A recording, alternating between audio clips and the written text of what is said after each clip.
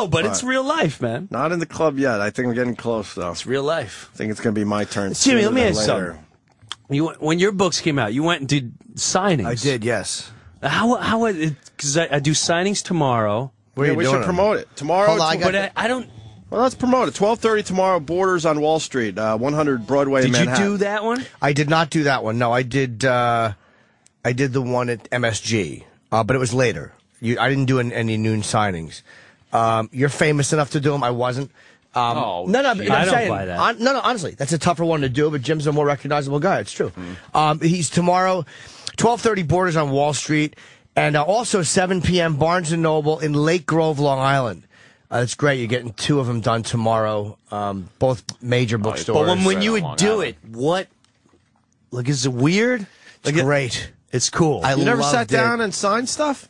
I have. But I love not- it actually. I, I will say You the connect with everybody that you know, Yeah. is a fan of you. the book world I'm noticing is a lot different. Yeah. It's uh it's it's, it's a completely different audience. And um, it's not like the, the stand up crew, and you don't have to be hilarious. I, I, no, you just gotta I fucking went. sit there and sign. I did. Um, they they invited me. The book company invited me to uh, the national, like, freaking uh, library association. I went, people go this like, oh, it's huge.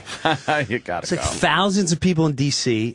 I'm like, well, what do you? You're a guest speaker. I'm like, all right, well, what do I get? You got to do a half hour, and you know, read from your book. I'm like, I'm not reading from my book. So I'm following a guy, and people are sitting down, listening to him, and he was.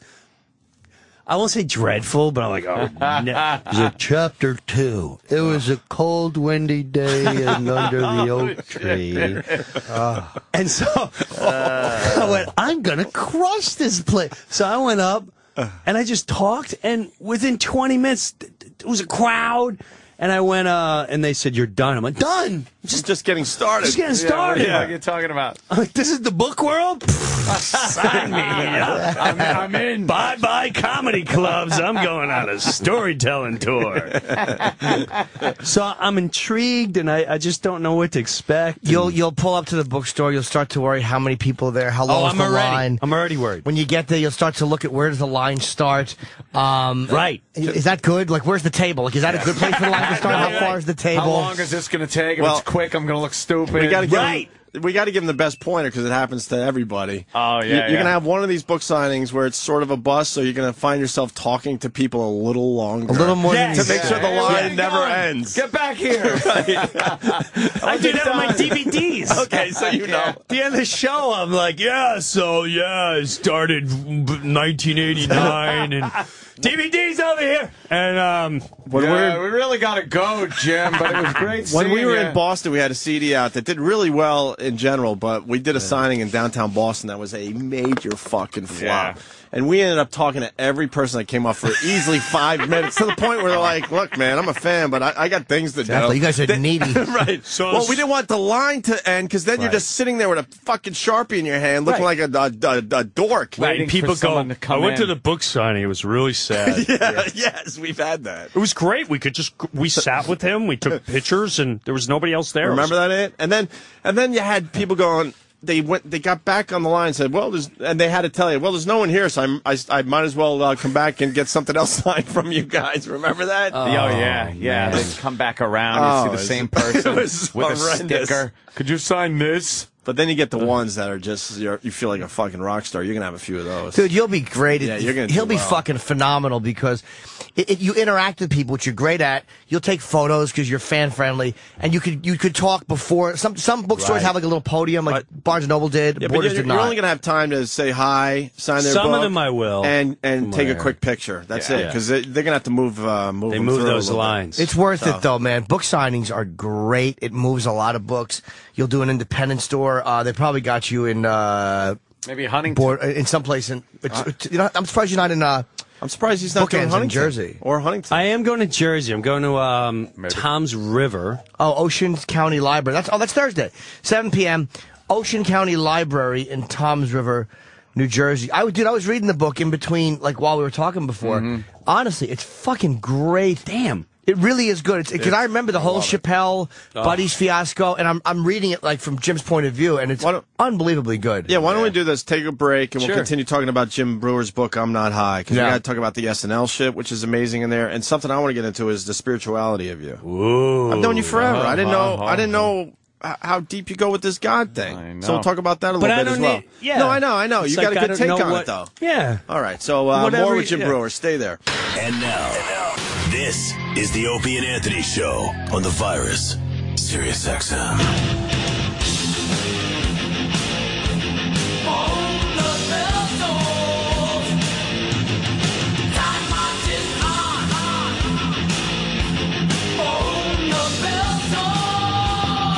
It's my first Metallica song. This was the one. This was the one that brought me in. This is the first. This is the first one. My friend Phil said, "Listen to this." And you're like, oh, this is good Now- shit. yeah, and that's what happened. Now you're a hardcore Metallica fan. Do Yeah. you, uh, where are you at with the Black album? Because a lot of hardcore fans like the Black like album, as in uh, you know, sad but true, and all, all, that. Yeah, yeah. Unforgiven and uh, wherever I, I- may roam. I love. I think "Sad but True" is one of the greatest songs ever put out. Ever, Fuck right? yeah.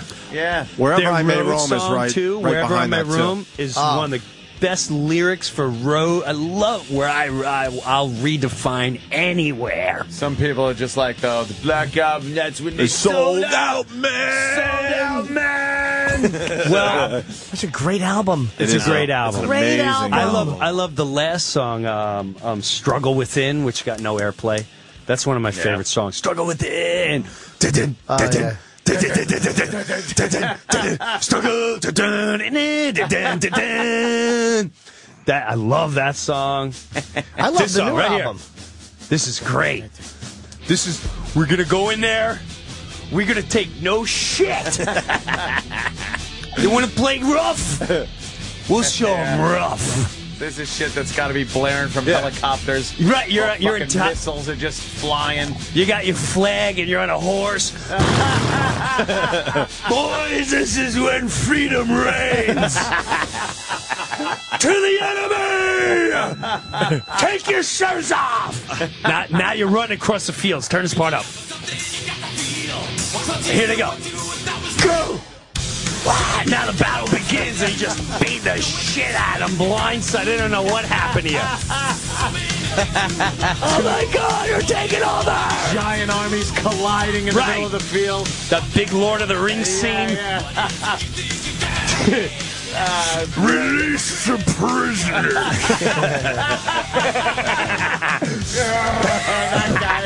that was the best scene ever. Release the prisoners. And he starts tossing their heads. Yeah, that guy is fucked up. That guy fucked up now. His eyes all droopy.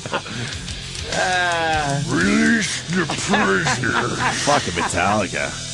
Oh, Nice. yeah. So yeah, no. I, What are those guys up to? You know what I love? I think they're torn, torn, Torn torn, torn. They're all in Europe and there and this Yeah. and that.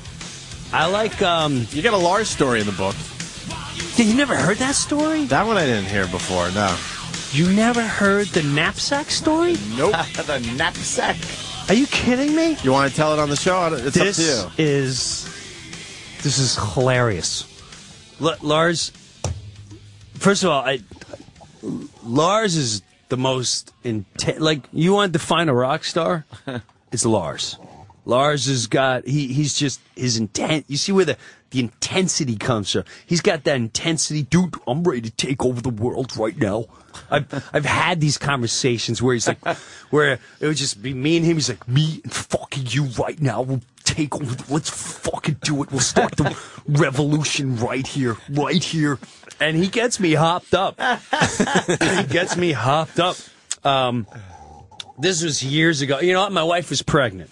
All right, so you, you can understand that. Oh, she's she's pregnant, and uh, I'm going through that whole little fluffy babies on the way stage, and Lars gives a call. So, God, this is like ni- eight, 98, 98, something like that, 99 maybe. And he goes, um, dude, let's, what, what are you doing this tonight? And I said, I'm playing down the village. Like, let's fucking hang out and I'm gonna meet up with some friends. It's gonna be great. And so we go down. We go to the cellar. He watches me at the cellar. We then go downstairs to the uh, bar at the bottom of the comedy cellar. I'm The Boston, sorry. you mean? I mean Boston. The Boston. We go up. I do a spot at Boston, and then uh, we go to the bar downstairs. And when we're downstairs, now on the way over, we're in a ca- we cabbed it, and some kid from NYU left his knapsack with all his books and notebooks and. I felt awful for them. All my nieces and nephews are in college. And I know how much they spend on these books and all that. So you know what? I'll be a nice guy. How cool is this be? Guy from Saturday Night Live is going to send him back his books. And, well, this is a thorn in Lauren's uh, in in uh, Lars's ass from the minute I get it. From the minute I get it, like, dude, what are you doing with the fucking nap? Get rid of the fucking knapsack. it's ridiculous. You look like a fag walking around with this fucking nap, knapsack. So I'm I'm I'm walking around with this thing. I said, I'm going to give it back. Why does the knapsack bother you? It's fucking stupid. Fuck, fuck that guy. He's, he's irresponsible. Fuck him. It'll teach him a lesson. So we're now downstairs. Now, you know, I'm like, what a great guy, hero. I've hung out with him a couple times. Well, it's the first time I really partied, partied out in public with him. And um, this kid comes up. He obviously knows who Lars is, and he's walking. He's like, "Dude, can I have a cigarette? Can I bum a cigarette off you?" That's his approach to the hot chick. Hey, can I bum a cigarette off you, Mister Rockstar? Lars turns around and he he goes, "Dude, did it ever fucking occur to you that sometime tonight before your evening started, you would fucking be engaging in cigarettes? No, you, I work hard for these fucking cigarettes." And I'm going, and the and the kids looking at him like, "Are you like, what's your problem, man? What's your problem?" So I, I'm like, Lars, it, it's cool. He's like, dude, it's not cool. Don't fucking go buy your own cigarettes. Whoa, this is Jesus, that's intense. this is not what I intended. I've uh, never seen that reaction from him, someone asking for a cigarette. So, I mean, he must get all the time or whatever. So, Yeah, yeah. I said, let's get out of here. Let's, because now this kid's with like eight friends and they went from Metallica rocks to, dude, we'll take you. we'll take you, you little punk. And, yeah. and, who, and, and, and that fag with the knapsack, we'll take him too. so we leave, he did, we do a shot or whatever, and we leave out in the street. He tears the knapsack off my back. I said, what are you doing? And he tosses it across the street, hits some chick in the leg, and it opens up, and the bags go all over. And he's walking down the village going like this. There's your fucking knapsack, huh? Huh? What's wrong with Are we hanging? Fuck the knapsack, huh? Huh? So we start heading to 6th Avenue. and we get to 6th Avenue, and there's a busy road on a Saturday night. And it's, you know, it's like 1 in the morning, whatever, and cars, have, he doesn't wait for the green light. He, he starts crossing the street, and cars are, they're screeching, and they pull him from. him. He starts banging their hood. What the fuck, huh? You fucking want to hang out, huh? Get out of the fucking car, out. huh? I'm like, Lars, what are you doing? Chill out. And he keeps getting in my face. Go, we hanging or what? So now he, like a rock star, he he's walking over parked cars, like stepping on the trunk, walking Oh, over man. the tops and the hoods, and then hopping off. Like this is it. We're go-" I went. I don't know if I can live up to this. yeah, yeah. I talk a great game, but I don't know if I can live up to this A status whole nother story. Yeah. this is a whole different beast. I've never. I can't. So he brings me to this private club, and um, this is when it was. We go to this club. And it was like it's on Seventh Avenue somewhere. I don't know where, and you have to go up the stairs. It's really dark, and and they know who he is. And we get up there, and if a bomb went off in this room, half the music industry would be collapsed. Really? Wow. It was Dave Matthews, the one of the Backstreet Boys, the guy who wears the cowboy hat, which Backstreet Boys back then were huge. Right. Um, Alice in Chains, a couple guys from Alice. Matt Damon, Ben Affleck, Gwyneth Paltrow, um, and there were like two other people that you look at and you go, "Oh my god, that's Yeah. that's like." I that's- know that guy. Yeah. that, that guy's like the queen of, of fucking Wales. the guy's a queen. of- and it was very surreal, very dark. Had a had a creepy vibe, and I just remember. Um, and I went, you know what, man? I I'm gonna head home. Lars's face was like I just left an orgy. He's like, what? I fucking